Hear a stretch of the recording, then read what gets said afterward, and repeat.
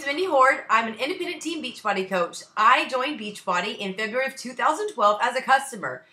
As I went along my journey, I realized that this is something I could do to help other people. So I decided to kick it up a notch and become a coach myself.